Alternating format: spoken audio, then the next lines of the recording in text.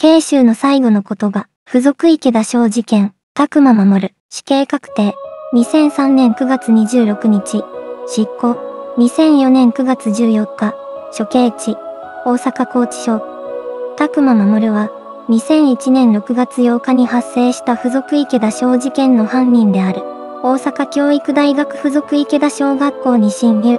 出刃包丁で児童、1年生及び2年生、8人を刺し殺し、児童及び教職員15人に重軽傷を負わせました。最後の言葉。